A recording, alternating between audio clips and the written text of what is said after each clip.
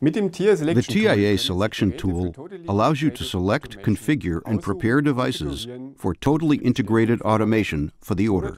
The same applies for the Simatic ET200SP Open Controller. Various wizards and configurations assist in the component selection, offer useful accessories, and check your finished configuration for possible errors. The completed product selection can then be forwarded to a complete order list, which can then be exported in formats like PDF or CSV, or which can be directly processed further in the shopping basket of the industry mall. Let us now look at the most important steps in the selection of the Open Controller. We create a new device in the TIA selection tool and navigate to the relevant hardware configuration dialog via the product tree as follows: controller, distributed controller, based on Simatic ET200SP. Here we click Configuration once more and can then see our product catalog on the right.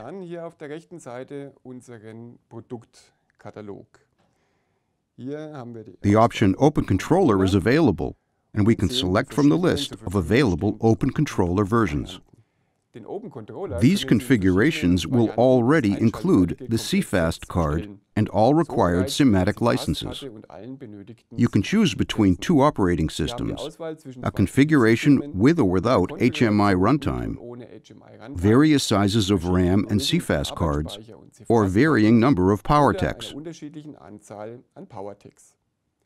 The available operating systems are Windows Embedded Standard 7 Enterprise in the 32-bit version or Professional in the 64-bit version.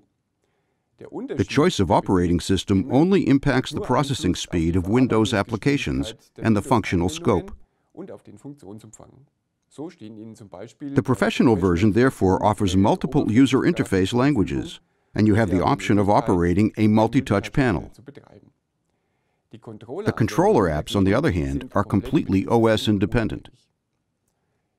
For our basic application in this Getting Started series, we will now choose the greatest available expansion option.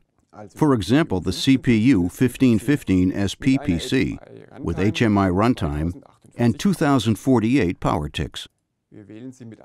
Let's select it by double-clicking it, and the next dialog window opens for selecting the removable bus adapter, which will allow you to connect your device to Profinet I/O.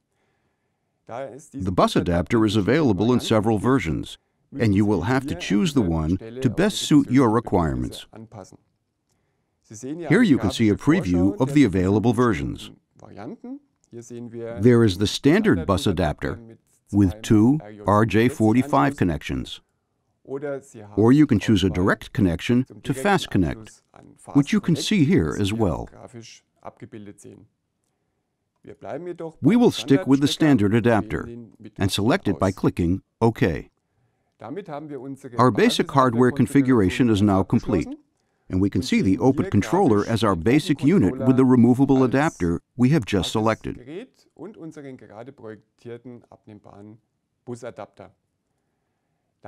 We can now generate our order list.